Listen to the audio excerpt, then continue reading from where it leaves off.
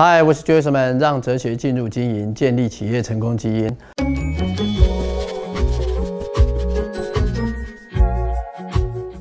我们今天继续探讨金石哲学第四十三条：追求人类的无限可能性。呃，我想我们每一个人，如果用现在的能力去判断我们是否有多大的成就，去想象自己到底行不行，这个结果一定是不好的。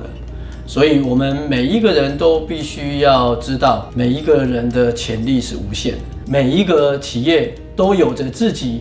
所拥有的不可被超越的一些成就，然后这些成就也有很多。都是从零开始，我们可以看得到金池公司为什么六十三年来这么的成功，就是每一个员工都有所谓的这种人定胜天的这种态度，也就是说，相信自己的能力一定都可以做得到。同时，领导者也必须要先自己有这样呃我一定可以的这种呃想法，在自己的血液当中。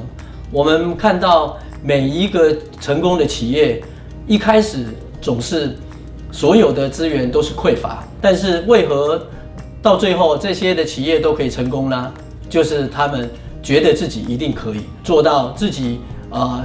现有的能力所不能做的，所以我们必须要用未来的能力去设定目标，开始在追寻我们人类的无限的可能，在自己的脑海中必须要清楚。只要我想要做，我一定可以成功。这种态度、这种思维，必须要牢固的在每一个领导者中的心中跟脑里。同时呢，也必须要这样的思维灌注在每一个企业员工的身上，让每一个员工的内心当中都必须要充满着自信，都能够像领导者一样具备所谓的呃领导人的意识。那我们就必须要挽起袖子。的来向前做，从零开始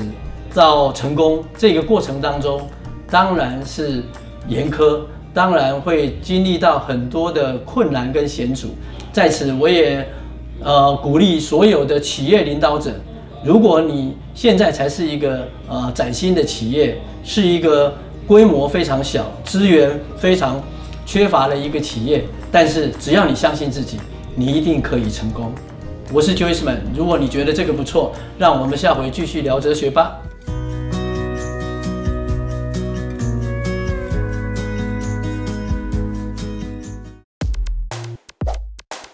Web TV。